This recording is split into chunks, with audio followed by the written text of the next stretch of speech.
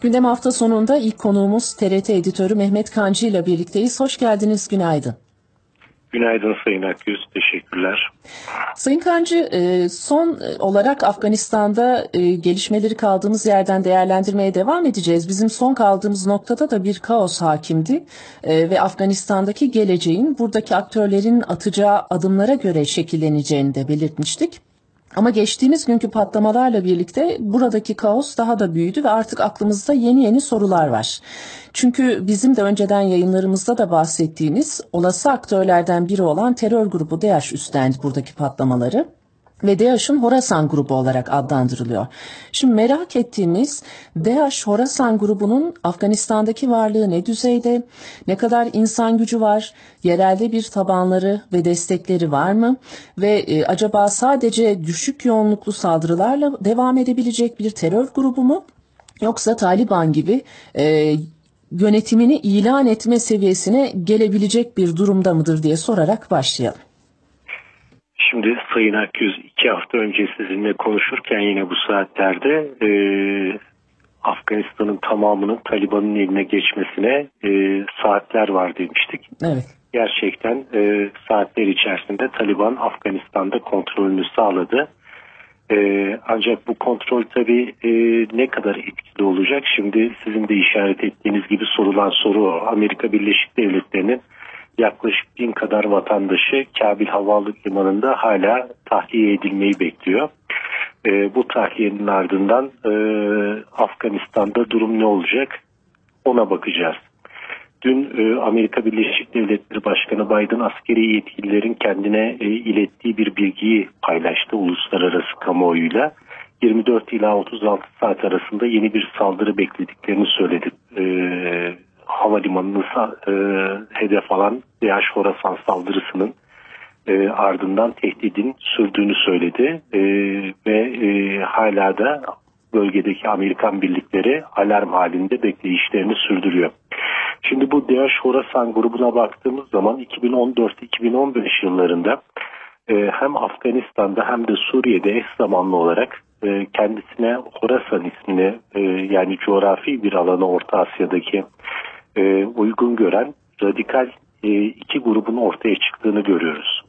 Amerika Birleşik Devletleri bu Horasan grubunun bunlar tabii ki El-Kaide ve DAEŞ'in uzantıları şeklinde e, organize olmuş vaziyette, vaziyetteler. E, bunun Suriye kanadına Amerika Birleşik Devletleri 2015 yılından itibaren ard arda suikast saldırıları düzenlemeye başladı. Ve her üç lideri de 2017 yılına kadar e, Amerika Birleşik Devletleri tarafından ortadan kaldırıldı. E, Afganistan, Pakistan tarafındaki e, grup ise daha ziyade Amerika Birleşik Devletleri'nin hedefi olmaktan uzak bir profil çizdi.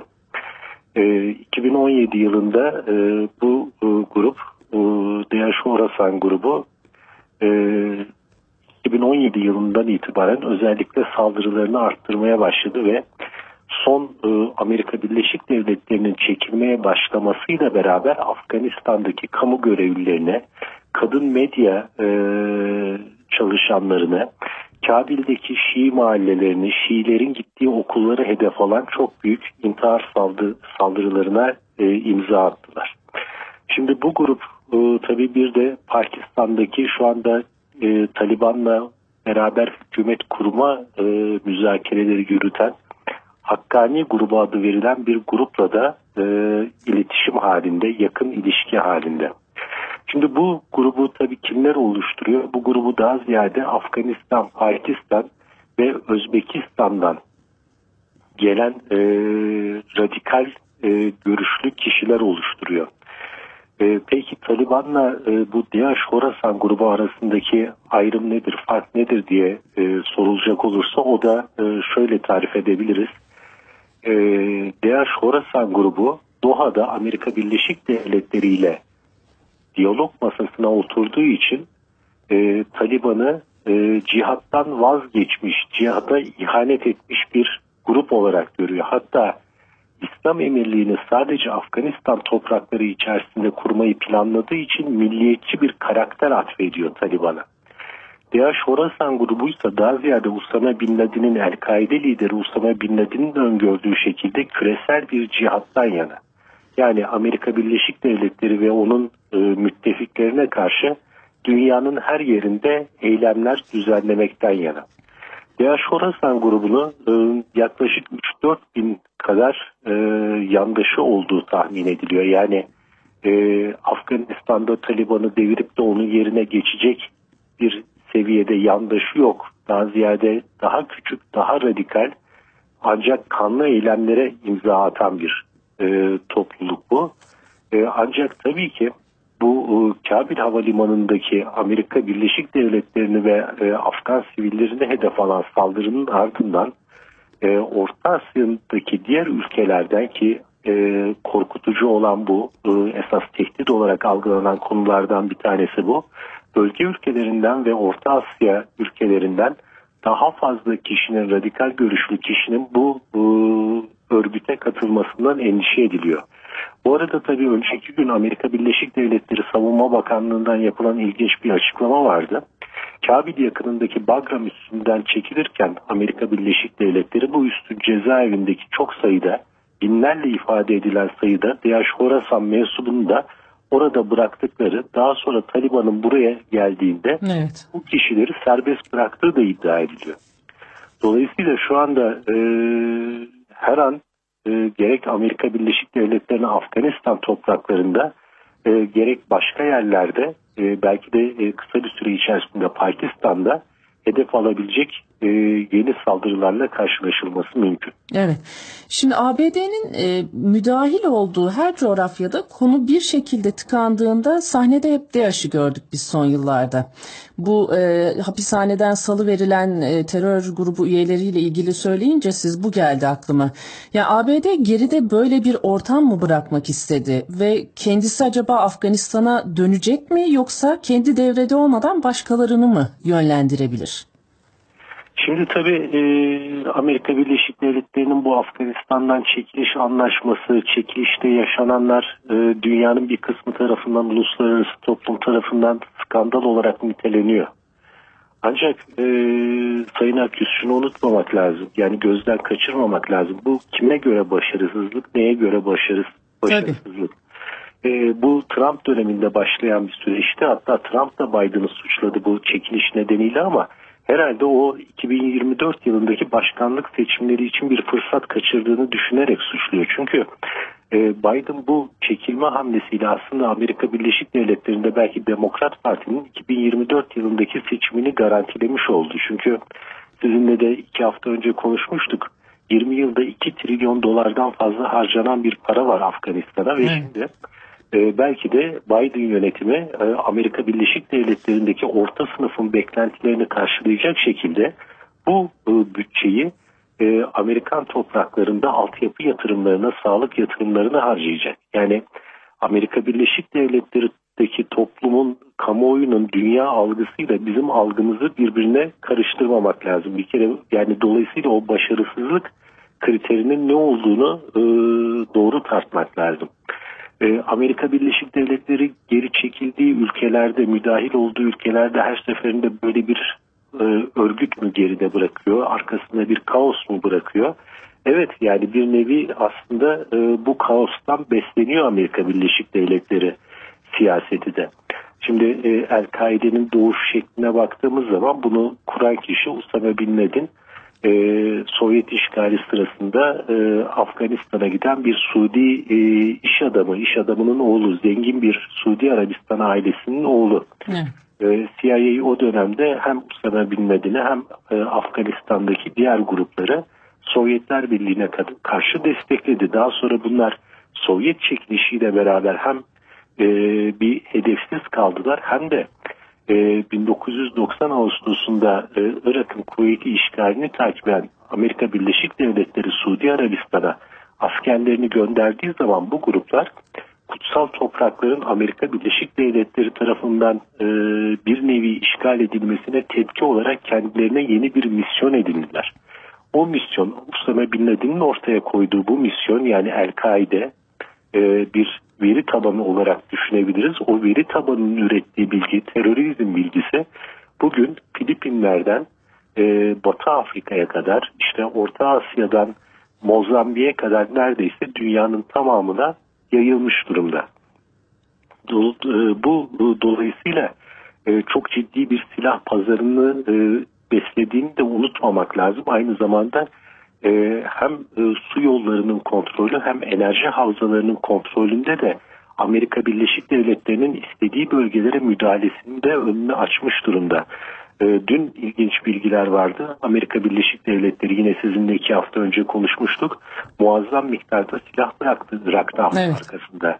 Bu silahların değerinin 85 milyar dolar kadar olduğu tahmin ediliyor. Hatta Rusya Savunma Bakanı Sergey Shoigu dün e, bu manzaraya bakarak şunu söylediği e, bilgisi geldi.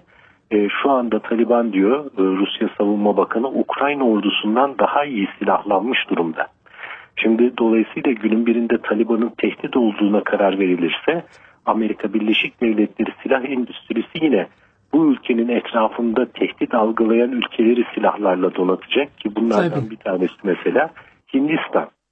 Ee, Hindistan e, konusunda da malum Amerika Birleşik Devletleri ve Rusya arasında hatta Fransa ve İngiltere de bu pazara girdiler. Hindistan'a silah satma konusunda muazzam bir rekabet yaşanıyor. Şimdi dolayısıyla bu örgütler Amerika Birleşik Devletleri'nin kendi topraklarından uzak tutmaya çalıştığı bu örgütler e, yalnızca bulundukları bölgelerdeki jeopolitik karışıklıklara yol açmıyorlar. Aynı zamanda dediğim gibi enerji havzaları, su havzaları belki Afganistan'da bundan sonra yaşanacak gelişmelere bağlı olarak Çin Halk Cumhuriyeti'nin daha kuzeydeki demir ipek yolunu tehdit edip Çin, Çin için bir jeopolitik tehdit haline gelecekler veya dünyanın gıda güvenliği için tehdit haline gelecekler. Çünkü Özbekistan, Kırgızistan ve Tacikistan dünyanın en verimli tarım havzalarına sahip. Dolayısıyla Amerika Birleşik Devletleri belki de e, Rusya'nın ve Çin'in e, bu e, gelişmelerden e, kendisinin harcadığı 2 trilyondan trilyon dolardan çok daha zararlı hale e, zararlı çıkabildiğini evet. de düşünüyor olabilir. Bunun planlaması yapılmıştır muhakkak ABD tarafında. Ee, şimdi Biden ve ABD kamuoyu açısından farklı değerlendirilebilir demiştiniz ABD'nin bölgeden çekilmesi ama zannediyorum şöyle bir netlik var yani müttefikleri için ABD'nin bu bir hayal kırıklığıydı. Ee, özellikle İngiltere tepki gösterdi e, yüksek bir sesle e, ve ABD Suriye'den çekilme kararı aldığı zaman da aynı şey yaşanmıştı. Yani Fransa'nın özellikle başı çektiği bazı batı ülkeleri ABD'nin buradan çıkmasını istememişti. Ve bu nedenle de o dönemde bir Avrupa ordusu kurulması, Suriye'de NATO'dan ayrı bir askeri güç kurulması çağrısı yapılmıştı. Ve biz de bunu programlarımızda çokça tartıştık. Şimdi acaba Afganistan'da da böyle NATO harici bir müttefikler birliği olasılığı var mı? Siz böyle bir şey olasılık görüyor musunuz geleceğe ilişkin?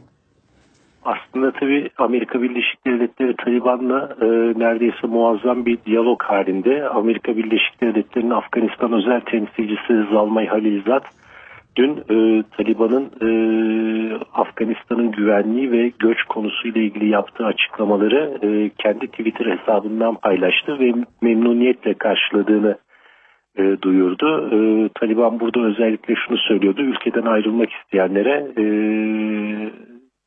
engel olmayacağız diyordu ve Zalmay evet. tarafından Amerikan temsilcisi bunun memnuniyetle karşılanacak bir olay olarak değerlendirdi. Şimdi tabii ki havaalanlarından belki tahliye operasyonları duracak ama şu anda Pakistan, e, Afganistan ve e, Afganistan-İran sınırlarına e, şu, bugün, bugünlerden itibaren çok ciddi sayıda sivil e, yığılmaya başladı. Ee, Çin Halk Cumhuriyeti'nin özellikle Taliban yönetimiyle e, bir takım diyaloglar yürüttüğü, diyalog arayışında olduğu ve o ülkede yatırım yapmaya hazır olduğuna yönelik yoğun şekilde haberler var. Aslında Amerika Birleşik Devletleri'nin çekilme takvimiyle paralel olarak bölgede bu e, Afganistan kaynaklı göç ve terörden etkilenecek ülkelerin acilen böyle bir e, organizasyon içine belki de girmesi gerekiyordu. Bunun için maalesef geç kalındı.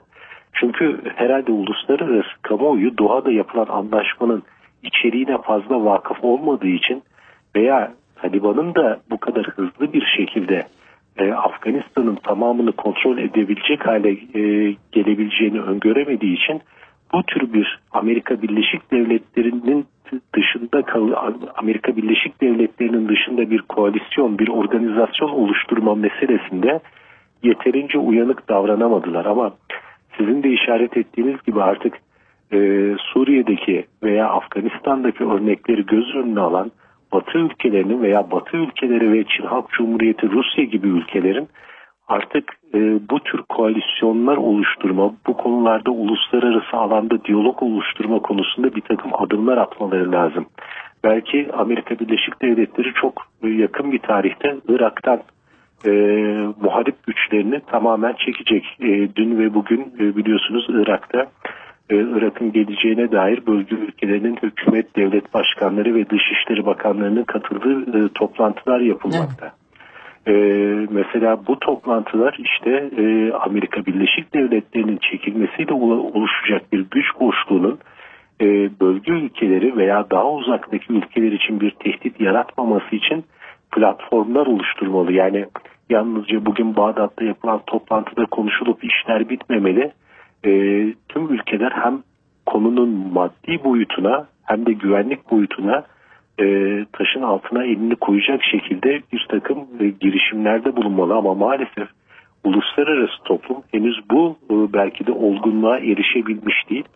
Amerika Birleşik Devletleri'nin başat gücü e, veya ekonomik gücü e, onu bu tür olaylarda ön plana çıkarıyor ve Amerika Birleşik Devletleri çekildiği zaman kimse para harcamak istemediği için özellikle Çin ve e, Rusya gibi ülkeler e, mesele ortada kalıyor ve sonuçta işte Afganistan'da gördüğümüz gibi e, çözümsüzlüklerle kaos getirebilecek durumlarla karşı karşıya kalıyoruz. Evet, geçtiğimiz günlerde e, Rusya'dan bir uzmanımızla bağlantı yapmıştık. Doğu Avrupa'daki ülkelerin e, bu konuya ilişkin tavrı nedir diye sormuştuk. Şöyle bir şey söylemişti. Yani Batı yanlısı gazetelerde dahi Amerika Birleşik Devletleri bizi yalnız bıraktı gibi bir yaklaşım söz konusu. Bu da ilerleyen günlerde aslında müttefiklerin nasıl e, davranacağını görmemizi de sağlayacak bir nüvedir belki de. Tabii e, ABD müttefiklerinin yarı yolda bırakılmış hissettiği bir süreçten bahsediyoruz. Burada en önemli, en yakın müttefiki İsrail'le de bir görüşme oldu. İsterseniz o noktaya doğru ilerleyelim. Ee, Joe Biden, İsrail Başbakanı Naftali Bennett'le bir araya gelmişti. Acaba bu sarsılmış güvenilirlik İsrail cephesinde nasıl karşılanıyor? Ee, İsrail'de malum Biden'ın İran'la nükleer anlaşmaya geri dönüş girişimlerine de açıkça karşı olduklarını belirtmişti. Bu görüşmeye ilişkin siz ne gibi sinyaller aldınız? Şimdi e, bu görüşme biliyorsunuz e, 26 Ağustos'ta yapılacaktı ancak Kabil'deki saldırı nedeniyle ertelendi. E, bir gün ertelendi. E, bu görüşmenin ardından tabii yapılan açıklamalar oldukça sınırlı kaldı. Çünkü İran'la e, diyalog devam ediyor. İran'da yeni bir hükümet kuruldu. Yeni bir e, cumhurbaşkanı var. E, bu cumhurbaşkanının e, vereceği sinyallere Amerika Birleşik Devletleri öncelikle bakmak istiyor. Ancak e, İsrail tarafında İran'ın e, nükleer silaha iki ay içerisinde erişimi olacağı yönündeki endişe arttığı için onlar da kendi hazırlıklarını yapmaya devam ediyor. Evet. Ancak İsrail Başbakanı Biden'la görüşmesinde şunun altını çizdi. Ee, İran'la nükleer anlaşmaya dönülmesine karşı açıkça bir kampanya yürütmeyeceğim dedi Bennett. Yani e, Amerika Birleşik Devletleri'nin e, bir çözüm üretmesi halinde, diplomatik bir çözüm üretmesi halinde e, bunu engellemeye yönelik bir e, siyaset açıktan en azından İsrail e, yürütmeyecek. Ancak şu var tabii e, bu Amerika Birleşik Devletleri'nin müttefiklerini hayal kırıklığına uğratma meselesi önemli. Afganistan'daki manzaraya bakan İsrail şunu düşünebilir. Biz kendi işimizi kendimiz e, görmek zorundayız. Evet.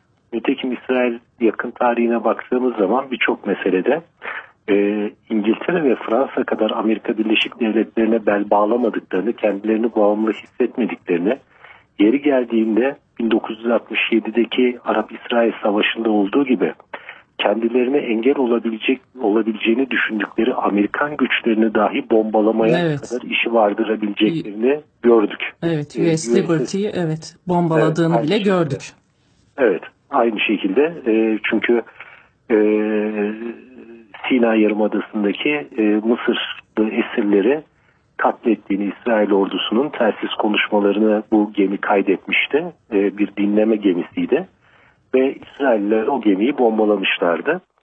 E, dolayısıyla e, Amerika Birleşik Devletleri'nin bugünkü politikaları karşısında şüpheye düşmüş olan, düşmüş olabilecek olan İsrail, İran konusunda iki ay sonra kendi kararını verebilir, kendi kararını alabilir ve bunu da uygulayabilir. Çünkü geçmişe yine baktığımız zaman 1981'de Irak'ta e, nükleer programına karşı Irak'ın Osirak nükleer santralini İsrail kendi olanaklarıyla vurmuştu. Keza 2007 yılında Suriye'nin yine bir nükleer projesi e, İsrail Hava Kuvvetleri tarafından düzenlenen operasyonla vuruldu. Bunun haricinde de yine Irak'ın ve Libya'nın nükleer projelerine ve e, silah projelerine karşı yürüttükleri gizli operasyonlar vardı. E, İsrail bunun için e, savunma bütçesini de arttırdı. Dolayısıyla Ekim ayı geldiğinde bu konuda e, ya diyalog yönünde bir çözüm göreceğiz ya da e, İsrail'in e, geçmişte yaptığı türden Amerika Birleşik Devletleri'ni de dışarıda bırakabilecek bir operasyona girişmesi e, söz konusu olabilir. Evet. Şimdi e, şöyle devam etmek istiyorum. Geçen programda siz son olarak bu 67 Savaşı sonrası Kara Eylül olaylarıyla e, toparlamıştınız konuyu. Bu Ürdün'e yerleşen Filistinlilerin burada Ürdün kralına isyan etmesi, Lübnan'a sürülmeleri, sonra orada bir iç savaşın vesilesi olmaları. Son olarak şöyle demiştik yani tarih tekerrürden ibaret. Bu nedenle çok iyi okunmalı ve bu konuda iyi politikalar uygulanmalı. E, buradan isterseniz düzensiz göç meselesine geçelim son olarak ve farklı ülkelerin politikaları ne yöndedir diye soralım. Şimdi e, görünen o ki tabii ki e, Avrupa Birliği Bulgaristan ve Yunanistan sınırlarına e, örülecek duvarları finanse ederek e, kendisini bir göç dalgasına karşı e, çok ciddi bir şekilde koruma altına almış vaziyette. Yalnız bu arada ilginç bir gelişme yaşanıyor tabii. Belarus, özür dilerim, e, Avrupa Birliği'nin yaptırımlarıyla karşı karşıya Lukashenko evet. yönetimi. E, Lukashenko yönetiminin e, ilginç bir e, yöntem izlediği yönünde uluslararası basında haberler çıkıyor. E, Irak üzerinden hava yoluyla getirdiği bir takım e, göçmenleri, düzensiz göçmenleri Baltık ülkelerine karşı baskı uygulamak amacıyla sınırlarını e, gizlice açarak e, yasa dışı şekilde bu ülkelere geçirdiği yönünde haberler e, uluslararası basında yer aldı. Avrupa Birliği Irak'a baskı uygulayarak bu göçmen uçuşlarının durdurulmasını sağladı. Dolayısıyla göçmenlerin silah olarak kullanılması şeklinde bir tabir ortaya çıkmış. Maalesef. Hatta Amerikan donanmasında bu konuda yazılmış bir tez de e, Türk basınının da hatta gündemine geldi 2017 yılında bir Amerikan donanma subayının yazdığı bir tez var bu konuda. E, şimdi e, tabii ki Avrupa ülkeleri e, Afganistan'dan başlayabilecek bir göçe karşı şimdiden önlemlerini almış vaziyetteler. E, bunları e, kendi ülkelerine sınırlı bir şekilde kabul etmek niyetindeler.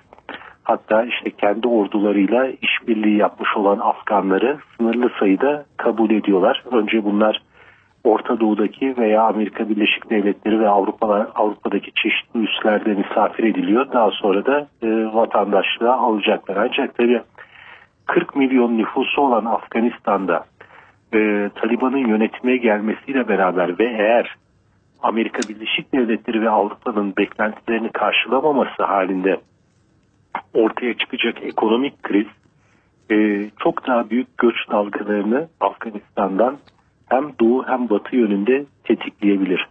E, mesela e, Taliban'ın e, ilan ettiği e, kararlardan bir tanesi ülkede afyon üretimine son verileceği yönündeydi. E, bunu da çiftçilere şimdiden duyurmaya başlamış ve Afganistan'da afyonun fiyatı %400 arttığı yönünde haberler geliyor. Eğer e, Afganistan'ın bu en önemli ihraç maddesi yasa dışı da olsa e, engellenecek olursa ortaya çıkan e, bu ekonomik kriz e, ve bunun yanı sıra e, Afganistan'ın büyük miktarda Merkez Bankası rezervleri de Amerika Birleşik Devletleri bankalarında e, dondurulursa e, bu ülke ne ile geçinecek? Afganistan'daki halkın e, 40 milyonluk nüfusun e, yaşaması nasıl sağlanacak? Eğer bu e, halk yaşayamazsa e, tabii ki göç yollarına çıkacak. Bu Evet. göç, göç nerede durdurulacak? Bu göç e, Türkiye'de zaten kendi sınırlarında önlemleri arttırma yönünde adımlar atıyor. Ancak bunun İran'a gitmesi ya da doğu yönünde Pakistan'ı da aşarak e, Güneydoğu Asya ülkelerine yönelmesi halinde e, buna karşı nasıl bir çözüm üretiliyor? Buna baktığımız zaman ne Birleşmiş Milletler'in şu anda ne de e, başka ülkelerin e, Avrupa ülkelerinin ya da Amerika Birleşik Devletleri'nin bu konuda herhangi bir tedbir aldığını görmüyoruz. Yine Suriye meselesinde olduğu gibi herhalde olaylar geliştikten veya milyonlarca, yüz binlerce insan bir takım ülkelerin kapısına yığıldıktan sonra bu konuda aray- arayışlara girecekler. Ancak şunu unutmamak lazım. Orta Asya gibi etnik çatışmaların, etnik gerginliklerin çok yüksek seviyede seyrettiği bir e, coğrafyada e, 1 milyon kişinin ya da 2 milyon kişinin harekete geçmesi dahi e, çok ciddi sonuçlar doğurur. Biraz önce siz Kara Eylül'ü ve 1967'yi hatırlattınız. E, bu, bu süreçte e, göç eden Filistinlilerin sayısı 250 ila 500 bin civarındaydı. Ürdün'e ve Lübnan'a giden ve bunların içerisinde yaratılmış sadece tek bir örgütün, silahlı örgütün Sovyetler Birliği ve Suriye tarafından o dönemde manipüle edilmesi bugüne kadar hala gelen e, bir takım sosyal, e, siyasi krizlerin başlangıcı olmuştu. Dolayısıyla önümüzde öngörülmesi mümkün olmayan bir süreç e, uzanıyor. E, ve bu süreçte de e, Amerika Birleşik Devletleri'nin ve özellikle Batı Av- Avrupa ülkelerinin kendilerini bu yaşanacak göç krizinden muaf tutmaması ve soyutlamaması için uluslararası camianın e, yani e, o 15-20 ülke haricindeki ülkelerin de e, harekete geçmesi gerekiyor. Evet. Ee, Burada burada 20 yıl boyunca bulunmuş olan NATO ülkelerinin bu işin devamında da daha aktif insani yönünün e, yönetecek şekilde bir takım politikalar üretmesi gerekiyor. O politikaları şu anda göremiyoruz. E, Eylül ayında Almanya'da genel seçimler yapılacak. Şu anda Avrupa e, daha ziyade oraya odaklanmış vaziyette. E, dolayısıyla Avrupa'nın e, kendisine duvarlar örerek bu işten kurtulamayacağını Bilmesi gerekiyor. onlara da evet, Evet. izah etmesi gerekiyor. Ve aksi takdirde çok daha vahim bir tabloyla karşılaşacağız. Umarız bir dahaki karşılaşmamızda kaos daha da büyümüş olmaz Sayın Kancı. Çok teşekkür ediyoruz yorumlarınız Öyle için. ümit edelim. Evet. Sayın Akgüz. İyi Sağ olun. Sağ olun. Kolaylıklar dileriz. Hoşçakalın.